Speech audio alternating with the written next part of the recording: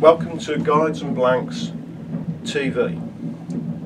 What we're going to set out today with the help of our good friend Chris Ward from Custom Rods, who has build, been building custom rods for over 50 years, we're going to give you bite-sized videos of how to build, repair, refurbish your rods. So whether it's just removing a tip top or a reel seat, we will give you a detailed instruction. So over to you, Chris.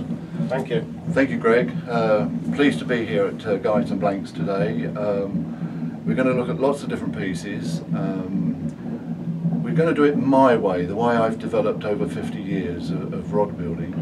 And I'm quite happy to admit, and I think Greg would admit, there are rod builders out there who will see these clips and say, I don't do it quite like that. And it's a bit like riding a bike or driving a car. You start off with the basics and develop your own style. So we're going to give you a good basic grounding so you can enjoy repairing your rod or progressing on to custom building your own rod.